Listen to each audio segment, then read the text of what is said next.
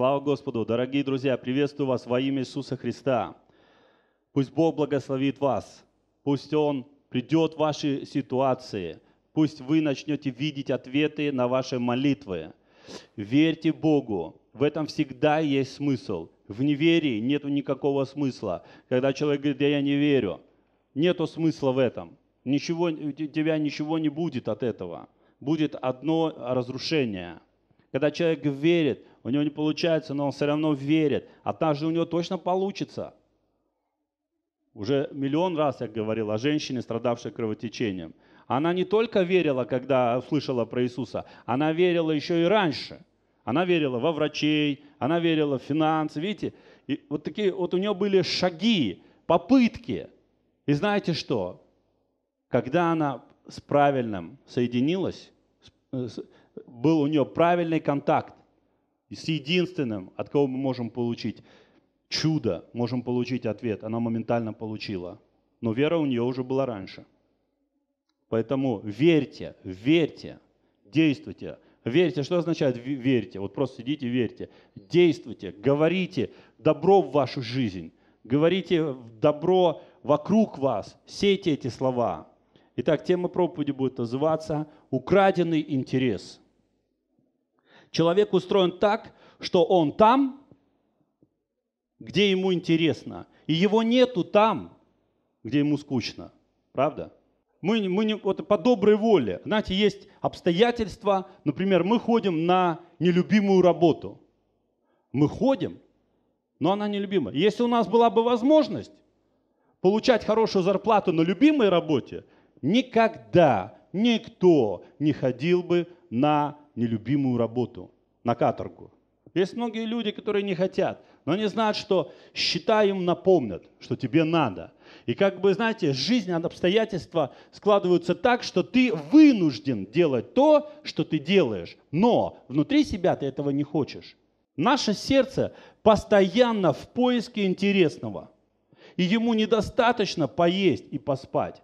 Знаете, вот когда человек поел, да, вот, например, человек голодный, у него цель одна – поесть, вкусно поесть. Кто что любит, кто к чему привык. Но когда человек поел, все, он достиг эту максимальную цель. Теперь он ищет что-то другое. Он ищет развлечения. Он ищет то, что могло бы порадовать его душу. И он будет искать ее в том, в чем он привык это делать. И борьба всегда идет за наше сердце. Человек, это можно сказать, что это сердце. Вот когда мы все умрем, наше сердце никогда не умрет, наша душа, жизнь, наша сердцевина, нас самих, она будет жить с Богом. Она предстанет пред Богом. И как вот Андрей говорил, что Бог смотрит на сердце. Это означает, что то, чего не видно, это духовный наш человек. Бог обращает внимание на это. И вот знаете, у каждого из нас есть внутренний человек, который тоже ищет восполнение своей нужды. Я говорю, что э, наш внутренний человек, ему все равно, что поело тело. Он будет искать в том, что приятно ему глазам, что приятно его ушам, что интересно. Поэтому мы живем в мире, где много рекламы, где э, появился интернет и где знание умножилось. Оно умножилось до просто, просто неимоверных размеров. Сегодня ты можешь получать такие знания, просто невероятные знания. Буквально за несколько секунд ты можешь все узнать, любую информацию. Такого раньше не было, но сегодня это есть. Сегодня появляются очень много-много-много развлекательных передач. Если вы смотрите телевизор, да, то вы можете увидеть, и вы знаете это. Очень много фильмов, и знаете, очень много разнообразия появилось в телевидении. Иногда мы думаем, о, классное время мы живем. Теперь не, не только два канала работают. Черно-белые, черно-белые каналы. Теперь есть тысячи каналов. Ты не представляешь, как тебя обслуживают, как тебя заинтересовывают. То есть все нацелено на том, чтобы поймать твой взгляд, твое внимание – И чтобы тебе действительно было интересно, чтобы ты получал новые знания, чтобы ты сознательно сам выбирал это, чтобы тебя не заставляли, но сам ты выбирал. Дьявол не против, если ты веришь в Бога. Кто-то думает, что дьявол... О, да, если это возможно, он сделает даже то, чтобы ты не верил в Бога, чтобы ты был атеистом. Но со многими верующими он также работает. Он, вообще я скажу так, дьявол работает с каждым. Нету человека, который, знаете, освобожден от его, там, не знаю, опытов каких-то, от его проделок, от его предложений. С каждым человеком разговаривает сатана. С каждым. Каждому он что-то предлагает. И дьявол, если он видит, что ты веришь в Бога, знаете, как многие люди сегодня говорят, я верю в Бога. И когда ты у него спрашиваешь, куда ты пойдешь, когда ты умрешь, он говорит, в ад. Ну, довольно-таки честно, потому что он верит просто в существование Бога, но он не знает его. Дьявол не против, если ты веришь в Бога. Главное для него, чтобы тебе не было с Богом интересно. Когда тебе с Богом не интересно, это говорит о том, что дьявол твой интерес украл. Каким образом? Развлечения, массами развлечений. Если я, например, сяду передачу какую-то смотреть, я могу пропасть. Discovery, там, я не знаю, YouTube или там. Можно пропасть. Там каждый человек может пропасть. Почему? Почему настолько интересно стало в интернете? Почему столько много предложений? Все только по одной причине – твое сердце. И у дьявола есть помощники. Это демоны и бесы. Иногда мы думаем, о, дьявол такой ужасный, о, дьявол, он, его бесы, они такие ужасные. Да, это правда. Но его продукция очень может быть красивой. Иначе он тебя не сможет привлечь. Вот просто сам подумай. Вот ты приходишь в рыболовный магазин, и ты видишь снасти, на рыбалку набираешь. Ты видишь такая, например, невзрачная блесна, такая не блестит, ничего. Ну, там тоже крючки, тройник, там всякое такое – и вдруг ты видишь такая просто отполированная блесна. Там еще хрусталик такой красненький. И, и, и там еще погремушки какие-то. Еще там вместо одного тройника два тройника. Что ты будешь выбирать, скажи? Ту невзрачную блесну, которая вообще не блестит, или та, которая светится? И смотрите, блесна делается специально привлекающей. Почему? Потому что рыба, которая видит, что блестит, бросается туда, думая, что это рыбка. А что с ней потом происходит?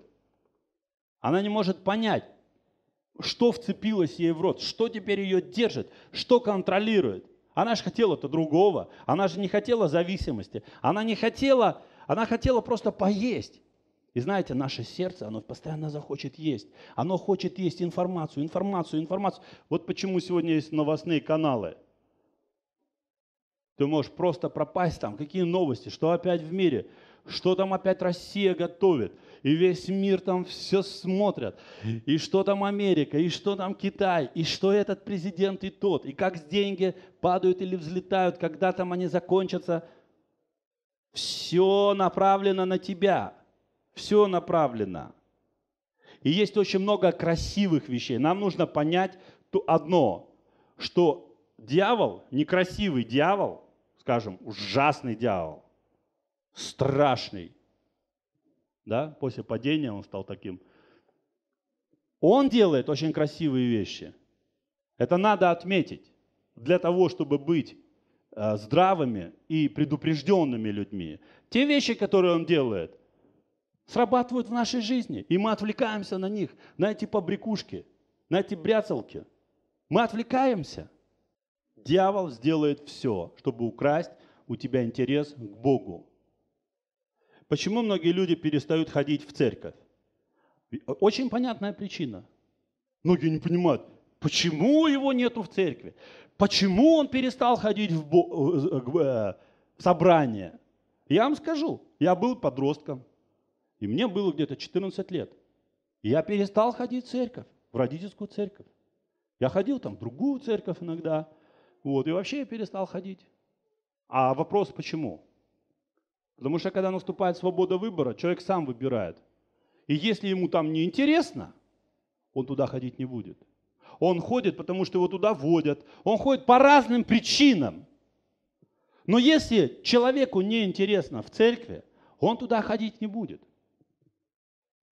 И иногда, я вам скажу, и мне в некоторых церквях неинтересно. Там, где нет присутствия Божия, мне неинтересно, я вам скажу. Там, где просто поют и говорят, мне неинтересно это. Мне интересно свежее присутствие Бога. Мне интересно откровение. Мне интересно, чтобы Бог касался меня. Чтобы я мог задуматься. Чтобы Он, он мог быть для меня свежим хлебом. Бог мог быть реальностью. Давайте откроем место Писания. Матфея 13, 44. 13, 44. Иисус здесь говорит. Еще подобно Царство Небесное сокровищу, скрытому на поле, которое, найдя человек, утаил. И от радости о нем идет и продает все, что имеет, и покупает поле то. Один стих, он так четко может выразить жизнь человека. Человек, он находится на поле. И он смотрит, ну поле, поле, ну что поле? Он ходит, топчет его. Сколько лет может пройти?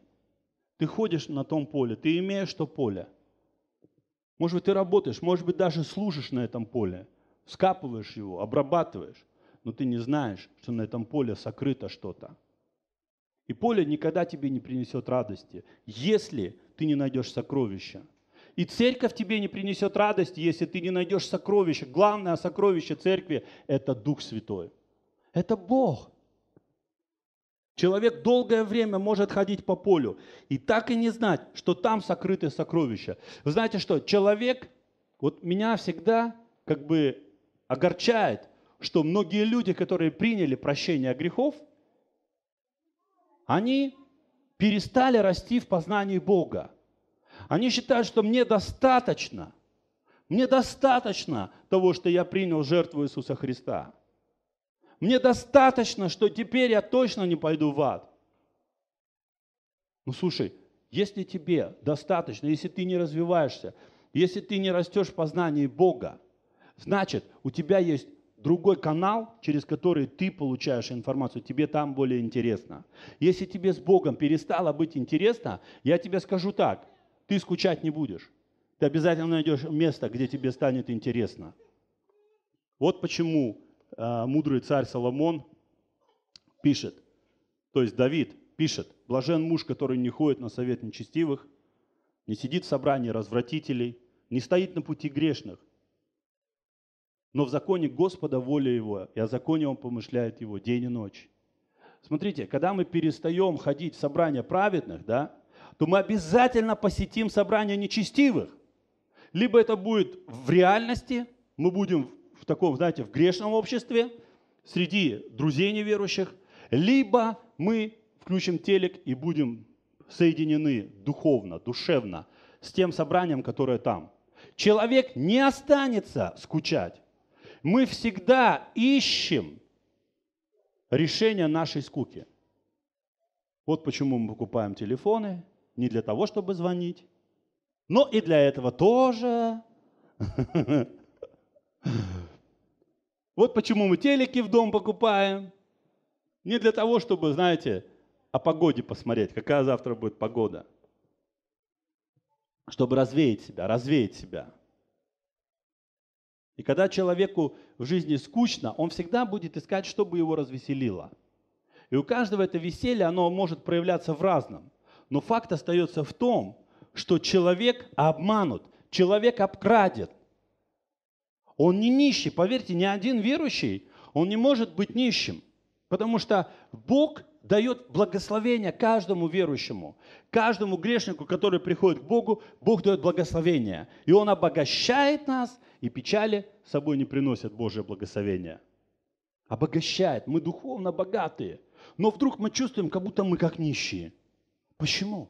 Почему у меня нет настроения? Почему у меня там нет цели в жизни? Почему мне так скучно? Почему я начинаю смотреть на, на все, что мне предлагает мир? И мне там более интересно, чем то, что мне предлагает Бог. Почему? Если Бог мертв лично в твоей жизни, тебе никогда не будет интересно ни с Ним, ни что относится к Нему. И я скажу так, каждый верующий лично внутри себя знает, нам не надо руки тянуть, нам не надо смотреть на другого брата и сестру. Нам нужно лично признать внутренне, внутри, что мне интересно с Богом или нет. Вот когда я лично остаюсь с Богом наедине, да, как Иисус учил, когда ты молишься, закройся в комнате своей, помолись Отцу своему. Как долго у тебя это все происходит? Как долго? Насколько тебе интересно, насколько Бог тебя интригует, насколько Он тебя захватывает, насколько твое сердце прям бежит туда, в эту комнату. Или этого нету. Честно, мы все знаем. Мы все знаем. Мы не можем себя обмануть, потому что мы знаем, какие мы внутри. И сегодня это слово каждому из нас.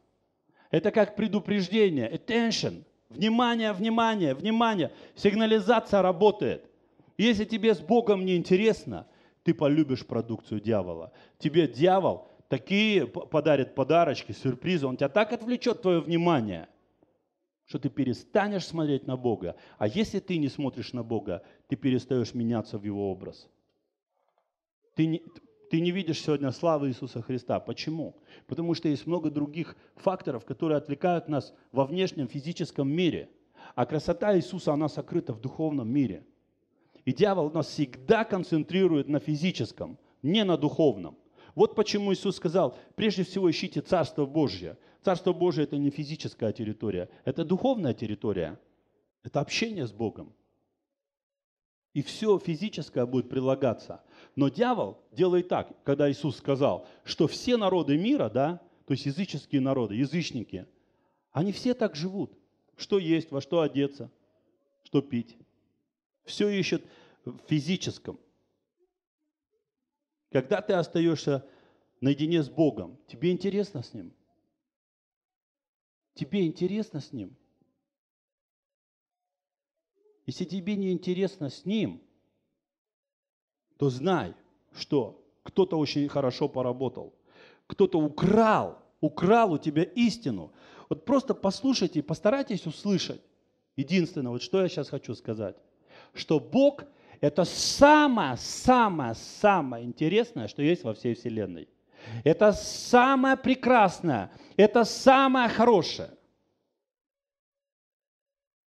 Ничего лучше нету. Но почему, когда мы остаемся с Ним, нам может быть неинтересно, нам может быть скучно? Почему? Если Бог – это самое прекрасное, это лучше. Вы знаете, вот для грудного малыша нет ничего лучше – быть в объятиях мамы. Нету ничего лучше. Лучше мамы для него не существует. Я могу прийти с подарками ему, подарить малышу грудному новый телефон. Будет, будет он радоваться? Никогда ему не нужен телефон. Ему нужна мама, счастье ему надо.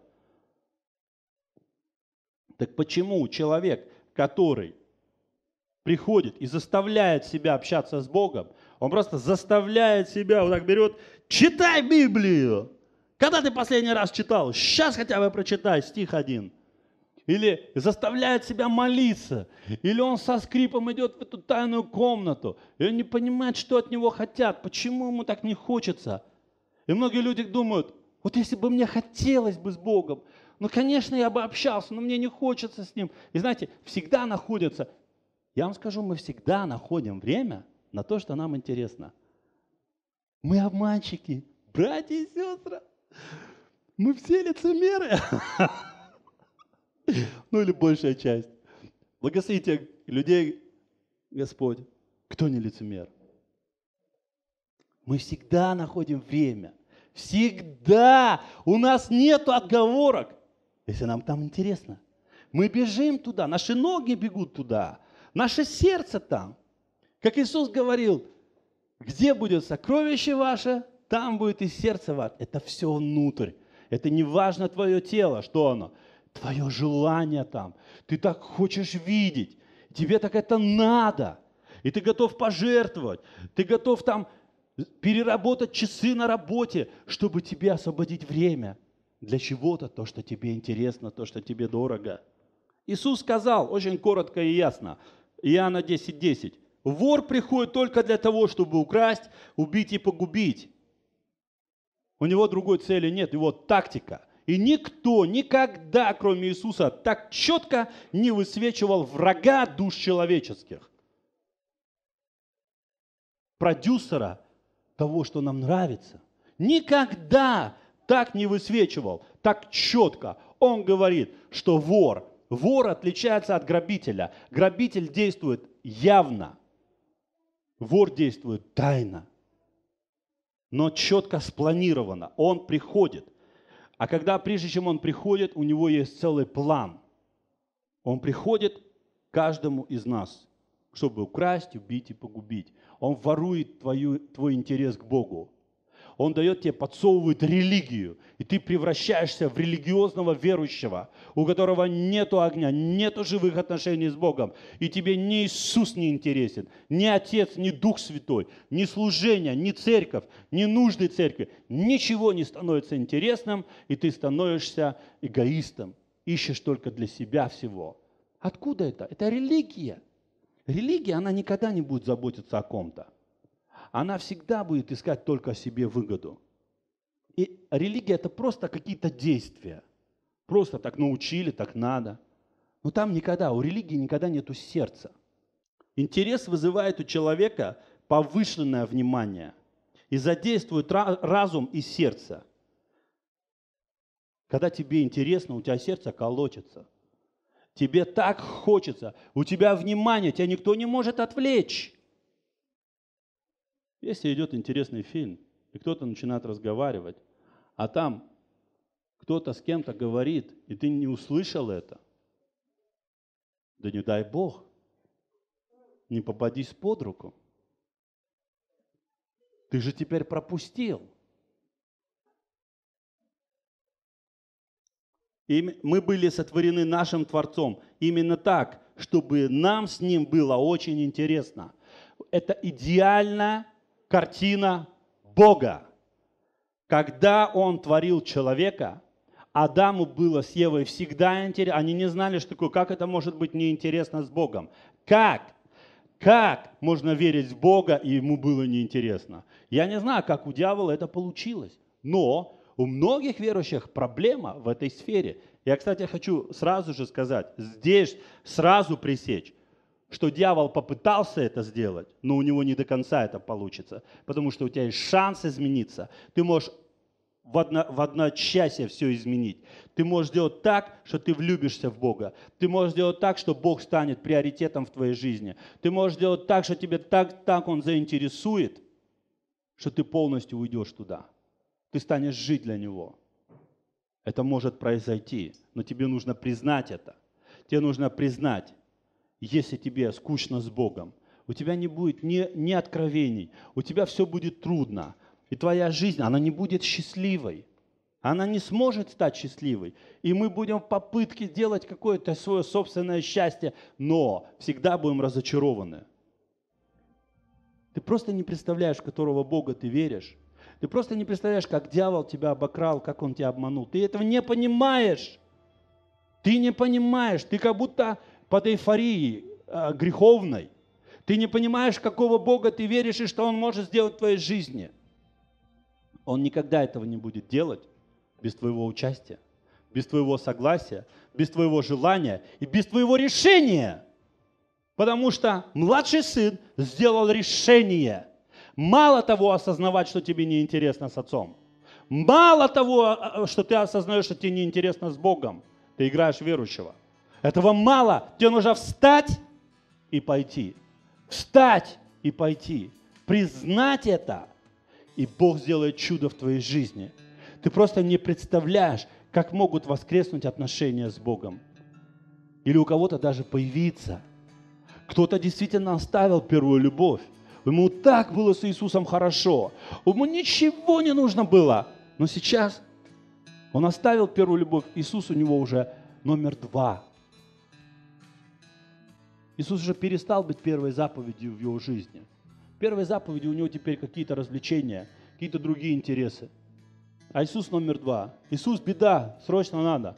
Вспомни, сколько я тебе служил и проповедовал. Слу- слу- Слушай, Иисус, очень срочно нужна твоя помощь. Вот твоя, могучая рука может помочь мне в ситуации. И знаете, Иисус, он такой, знаете, вызов по нужде. Иисус, нужда, срочно надо. Деньги надо, Иисус. Там, что-то еще надо. Послушайте, это слово не для того, чтобы дать кому, кому-то по голове, пощечину там, а- а- обличить кого-то, обсмеять. Это слово направлено для каждого из нас. С каждым из нас разговаривает развлечение этого мира. Мы живем вокруг них. Они специально созданы вокруг нас. Их будет еще больше и больше. И виртуальный мир для многих людей скоро будет более реальный, чем физический мир. Все вот эти виртуальные игры, фильмы, я не знаю, что еще, все вас будет отвлекать. Многие-многие вещи вас будут отвлекать от Иисуса, от Бога. Но если вы противостанете им, вы искренне попросите Иисуса, чтобы Он исцелил вам, чтобы Он открылся вам, вы больше ничего другого в жизни не захотите. И вы так только тогда будете готовы к небесам. Многих из вас Господь жалеет, еще не забирает на небеса. Жалеет, ты не готов к небесам. Ты его здесь с ним не можешь провести пяти минут, а там ты что, вечность готов проводить? Если тебе с Иисусом скучно, здесь 15 минут помолиться, или читать Слово Божие, или исполнять Его, то, что Он хочет, ты не хочешь это. Думаешь, тебе на небесах станет вдруг весело? С чего? Там все направлено на Иисуса. Он агнец. Там поклоняются Ему. Откройте книгу Откровения. Просто задумайтесь, в какой, в какой лжи мы можем жить, братья и сестры.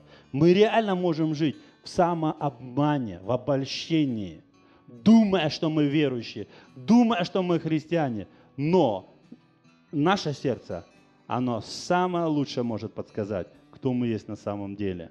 И если у нас есть эта беда, если это относится слово к нам, что у нас украли интерес к Богу, то нам срочно нужно с этим делать. Нам нужно воевать. Нам нужно срочно перейти на сторону Бога и сказать, Бог, помоги мне. Я не согласен с такой жизнью.